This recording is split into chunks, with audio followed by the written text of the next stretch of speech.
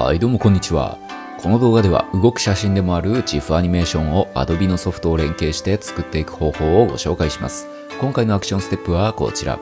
GIF アニメーションが作れると、ただブログに写真を上げている人よりも違った印象の見栄えを作ることができますし、LINE スタンプやプレゼンスライドなどいろんなところで活用できます。個人的に覚えておいてよかったランキングトップ5に入る内容なので、早速この動画でやり方を学んでいってみてください。それでは早速本編を見ていきましょう。アクション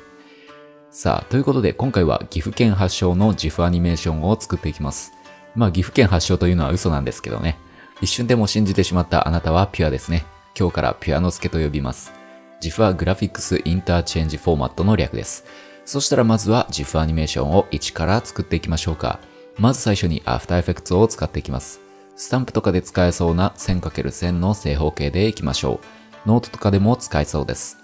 ということで今回はハート様の GIF を使っていきたいのでハートと書いておきます。正直なところ After Effects ではハート様のデザインは作るのは難しいです。なかなか経絡秘孔がつけません。ここであたたたたと地道に肉をかき分けハート様を倒していってもいいのですが、今回は北斗柔破斬こと Adobe Illustrator で手っ取り早くハート様を作っていきましょう。ということで正方形のアートボードを作ったイラストレーターであなたの願い事を書いていきます。七夕と同じです。今回はハート様を倒したいのでハートと書いておきましょう。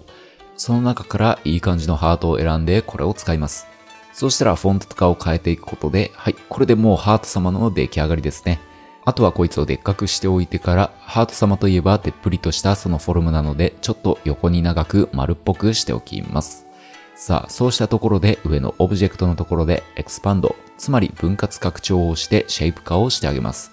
するとこれがすでにシェイプ化されておりますので、ダブルクリックしながらいらない部分とかは、北斗柔破斬、お前はもう死んでいると言いながら削除すれば、これでハート様の完成です。まあ、サイズとかフォルムは勝手に調整しておいてください。さあ、それではこれは保存をしておいてから、保存したイラストレーターファイルは After Effects の中に取り込んでおきましょう。お尻。さあ、そしたらこいつにちょっとした簡単なアニメーションをつけていきます。今回はスケールのアニメーションを使いましょう。だいたい5フレームを一区切りとして作っていくとわかりやすいですね。最終的に15フレーム後にこの大きさになるように、ここでキーフレームアニメーションをオン。このような感じでキーフレームを5フレームごとに打っておいてからバウンスのアニメーションを作ります。多分インスタグラムを使ったことがある人には馴染みのある動きですね。最初のキーフレームは0、2番目のキーフレームは110で少し大きめ、3番目は95で少し小さめ、そして4番目で元の大きさの100で止まるという動き方です。これらのキーフレームの動きは滑らかに動くように全てを選択しておいてから F9 で Easy Ease を適用して滑らかにしておきましょう。するとこのようにバウンスするハート様が出来上がりです。なんだかエッチな気分になったあなたはスケベです。今日からスケベと呼びましょう。そうしたら終わりのところも似たように元のサイズから若干拡大しておいてからスケールの数値が0になるようにしてハートを真ん中にねじ込んで消し去りましょう。さあ、これでハートが出現して消えるまでの動きを作り上げることができました。最後はもう少し早く消え去ってほしいので、すべてのキーフレームを選択しておいてから、オルトオプションを押しながら間隔を狭くしていきましょう。さあ、これで OK。アニメーションが終わるところでキーボード N でワークエリアを指定しておいてから、ここで右クリック。そしてここからワークエリアに合わせてトリムをすることでコンポジション全体の尺を決めることができます。さあ、ということでこれで After Effects の作業は終わり。プルンプルンのハート様が出来上がりですね。このメニューを押せばわかるかと思いますが、一応このアニメーションは背景が透明のアルファチャンネルでできております。他にも、もしこのハート様に影を作っていきたい場合は、レイヤーを右クリックして、ここのレイヤースタイルからドロップシャドウとかを追加するといいかと思います。ただ、GIF アニメーションにする場合は、綺麗に作れないこともありますので、ここはあまりお勧めしませんね。どうなるかは後でお見せします。まあ、とりあえずこれでいいとして、ファイルからエクスポートのところで書き出しをしていきます。連打 Q に追加します。そして追加されたやつの青いところをクリックすると、アウトプットモジュールの設定というのが出てきますので、ここのところのチャンネルが今 RGB となっております。RGB はレッド、グリーン、ブルー、もしくはロンゲゴーも坊主の略ですが、ここから RGB プラスアルファというので、しっかり背景が透明なものとして書き出せるように設定をしてあげましょう。さあ、そしたらアウトプットするところで出力先を指定しておいたら早速タッチダウン。6点選手で有利に試合運びをしていきます。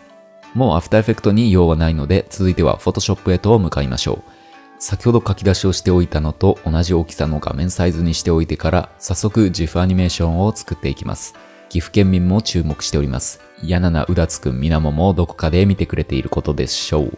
Photoshop ではファイルのところから開くへと進んでおいて、ここから先ほどエクスポートした映像を開いていく必要があります。ここで開くことによって、このように Photoshop の画面に映像として取り込むことができます。ハート様がぽよんぽよんです。ここで特に変更がなければ、このままファイルのところへと進んで、ここでまたまたエクスポート、書き出しのところで Web 用に保存をしていきましょう。さあ、するとここで GIF 形式で保存をしていくことができます。この時、ウェブサイトによっては大きいサイズの画像は挿入できないことがありますので、ここでサイズを変えたりしていきます。サイズを変えるためには、まずは色の階調があります。もちろんこの色の階調の数が大きいほど、たくさんの色で表現してしまいますので、サイズは当然大きくなります。まあ、今回は主に白と黒しか使ってないので、そんなにサイズは大きくないですね。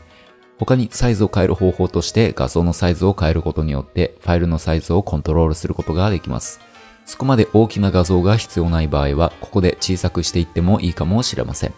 他にもここのところで透明の度合いみたいなのを調整していくこともできますので、不透明度を使ってみるところをここで調整してみてください。まあ、自負を作ろうとするのであれば、あまり不透明度が中途半端な素材はお勧めしないのですが、ここで見ていきながら作っていってみてください。さあ、そしてこれでセーブを押せば GIF アニメーションのファイルを手にすることができます。個人的にはこういった GIF アニメーションは Google フォトなんかで保存していたりします。他にブログやノートなどでも投稿した際に動画よりもサイズが小さく動く写真として挿入できるのでいいかもしれないですね。ということで、今回の内容を参考に色々とクリエイティブな GIF アニメーションを作ってみてはいかがでしょうかそれではここまで見てくださり本当にありがとうございます。スキルを身につけ新たな世界へ挑戦するヒーローとなれ。いつか会える日を。